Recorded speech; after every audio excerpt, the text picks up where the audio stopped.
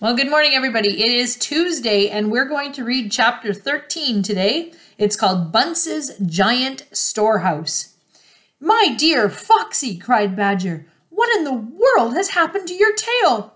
Don't talk about it, please, said Mr. Fox. It's a painful subject. They were digging a new tunnel. They dug on in silence. Badger was a great digger, and the tunnel went forward at a terrific pace now that he was lending a paw. Soon they were crouching underneath yet another wooden floor. Mr. Fox grinned slyly, showing sharp white teeth. If I am not mistaken, dear Mr. Badger, he said, we are now underneath the farm which belongs to that nasty little pot-bellied dwarf, Bunce. We are, in fact, directly underneath the most interesting part of that farm. Ducks and geese, cried the small foxes, licking their lips juicy, tender ducks and big, fat geese. Exactly, said Mr. Fox. But how in the world can you know where you are? asked Badger. Mr. Fox grinned again, showing even more white teeth. Look, he said, I know my way around these farms blindfold. For me, it's just as easy below ground as it is above it. He reached high and pushed up one wooden floorboard and then another. He poked his head through the gap. Yes, he shouted, jumping up into the room. I've done it again. I've hit it smack on the nose, right in the bullseye. Come on and look.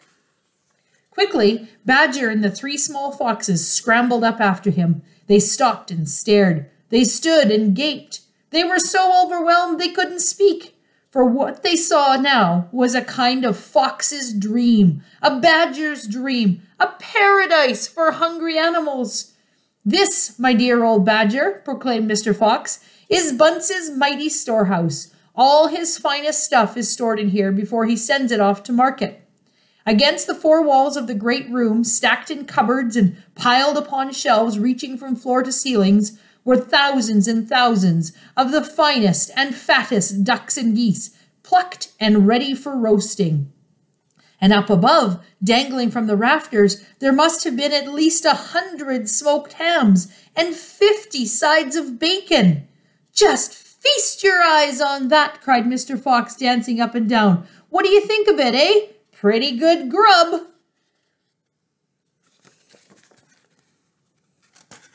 Suddenly, as though springs had been released in their legs, the three small hungry foxes and the ravenously hungry badger sprang forward to grab the luscious food. Stop, ordered Mr. Fox. This is my party, so I shall do the choosing.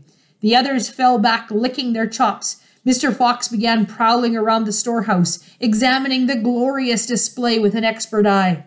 A thread of saliva slid down one side of his jaw and hung suspended in midair, then snapped.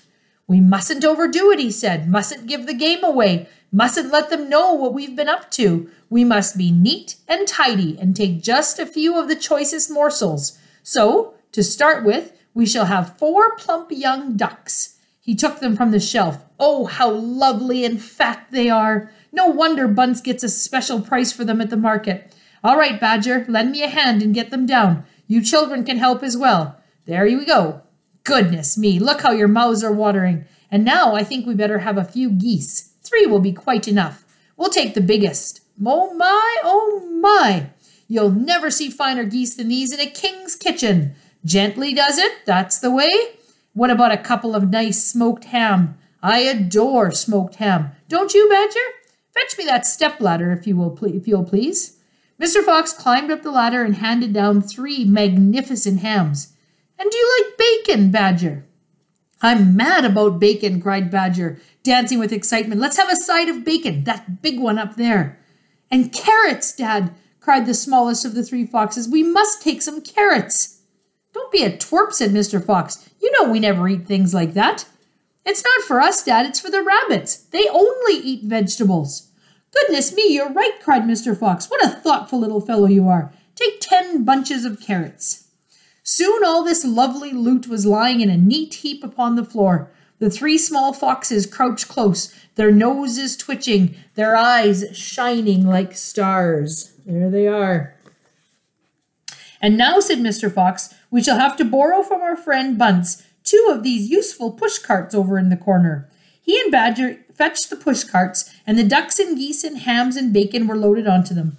Quickly, the push carts were lowered through the hole into the floor. The animals slid down after them. Back in the tunnel, Mr. Fox pulled the floorboards very carefully into place so no one could see they'd been moved. My darlings, he said, pointing to two of the three small foxes, take a cart each and run back as fast as you can to your mother. Give her my love and tell her we're having guests for dinner the badgers, the moles, the rabbits, and the weasels. Tell her it must be a truly great feast. And tell her the rest of us will be home as soon as we've done one more little job. Yes, Dad, right away, Dad, they answered, and they grabbed a trolley each and went running off down the tunnel. And we'll leave it for today and we'll find out what the big job is tomorrow.